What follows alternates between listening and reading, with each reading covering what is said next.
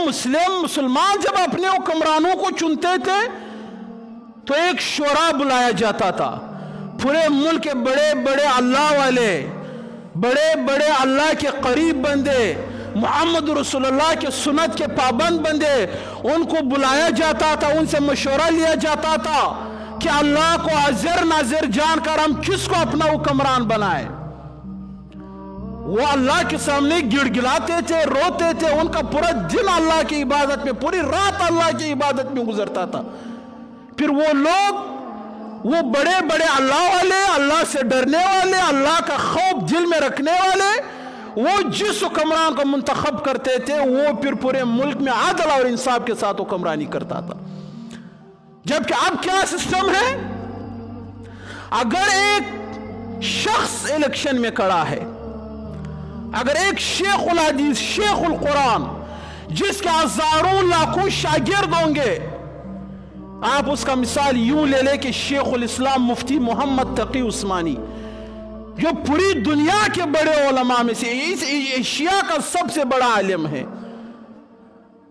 अगर वो एक शेख तकी उस्मानी, जिसने कई किताबें, सौ के करीब उसे किताबें लिखी है जो अहले हक का नुमाइंदा है अल्लाह ने बहुत बड़ा इलम दिया हज़ारों शागिर्द पूरी दुनिया में उसके अगर एक नुमाइंदे के बारे में वो शेख तकी उस्मानी कहे कि ये अच्छा बंदा है इसको हुक्मरान बनाओ तो हमारा ये सिस्टम दूसरी तरफ़ देखता है दूसरी तरफ़ दो बंगी क्या दो बंगी जो मुसलमान भी नहीं है जो ईसाई है जो आपके बाथरूम साफ़ करते हैं जो हिंदू है जो आपके बाथरूम साफ़ करते हैं अगर वो दो बंगी ईसाई हिंदू ये कहे कि नहीं, इसको हुक्मरान नहीं चाहिए तो ये सिस्टम, ये निज़ाम शेख तकी उस्मानी के बात को रद्द करेगा, उन दो बंगियों को जो गैर मुस्लिम है, उनके बात को मान लेगा।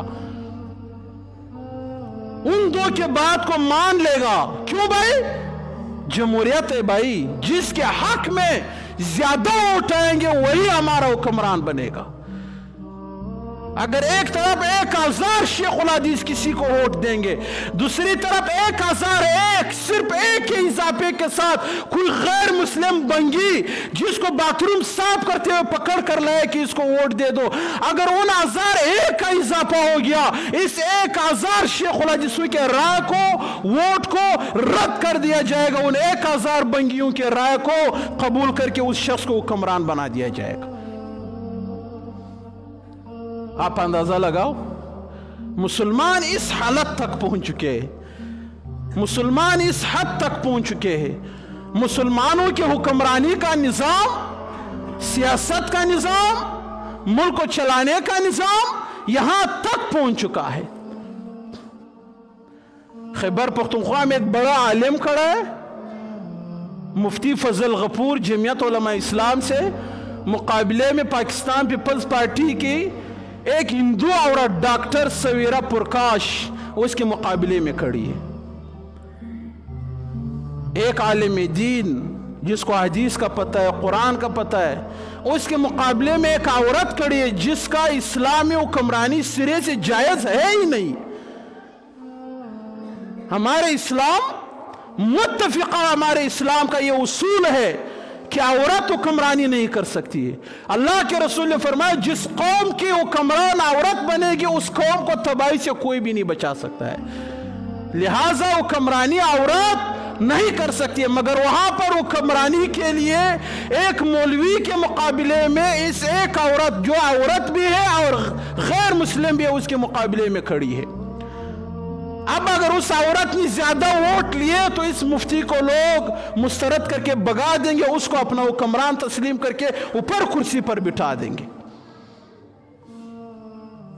आप अंदाज़ा लगाओ कैसे ये दीन आएगा यार? जीन यहाँ पर तो अक्सरियत भी जीन लोगों की है। अक्सरियत ये चाहते हैं कि अल्लाह का जीन ना आए। अक्सरियत ये चाहते हैं कि अल्लाह के कुरान का निफाज ना हो।